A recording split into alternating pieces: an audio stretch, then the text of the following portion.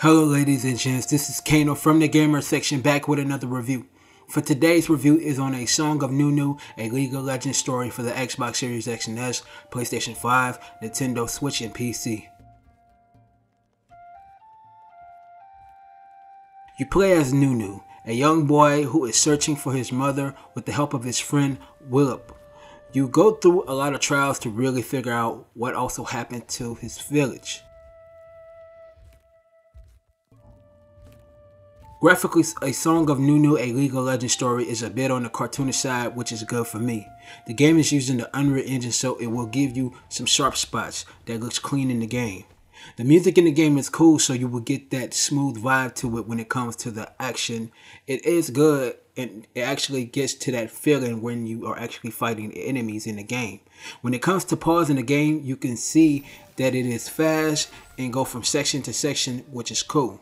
There isn't any HUD like that in a major sense, but the only time you will see your health bar is during the action sequences. The whole overall presentation to A Song of Nunu, a League of Legends story is good, but it can be better. A Song of Nunu, a League of Legends story is a 3D platformer. To start, you can play as Nunu in certain parts, and you can play as Willump, which is basically a Yeti. You mainly play as Willump when it comes to the fighting the enemies that are in the game, which is fun. And when you fight the enemies in the game, it ends up being one of a kind. Now, the game have a bunch of puzzles, which is not surprising. That is like that because to me, it's kind of too much. Now, this game is simple and fun in a way where Nunu and his friend have a lot of fun where they play snowball fights and do a lot of exploring together. When it comes to the movement in the game, it does run at 60 frames per second and it does run somewhat smooth.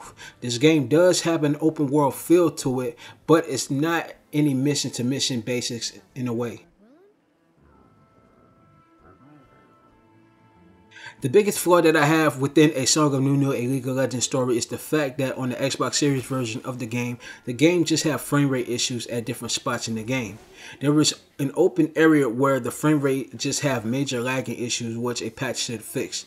The storytelling is a bit good, but I just felt that they actually could have did more to it and give it that spark that it actually needs. There is some bugs in the game that needs to be fixed, whereas there was one spot where I ended up trying to jump and got stuck into an animation that needs to be improved.